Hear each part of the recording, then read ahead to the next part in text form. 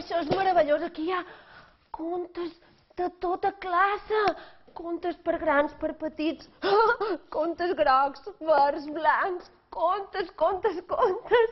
Encara no s'ha donat el sus oficial a la tercera edició del Contes Porles, però la paraula conte ja s'escolta arreu del poble.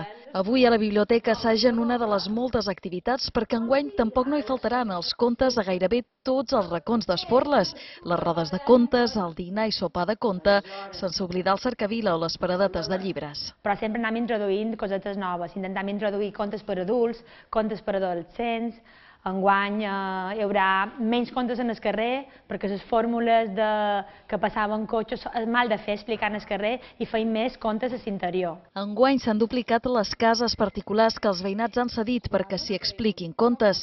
Naraceli dissabte en contarà un parell a Cana Magdalena.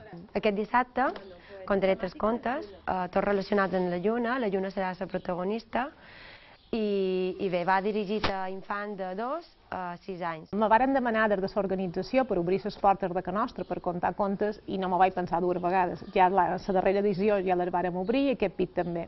És un gust per nosaltres obrir el corral perquè venguin a contar contes i que venguin els infants i els pares a escoltar-los. Un festival dedicat a infants.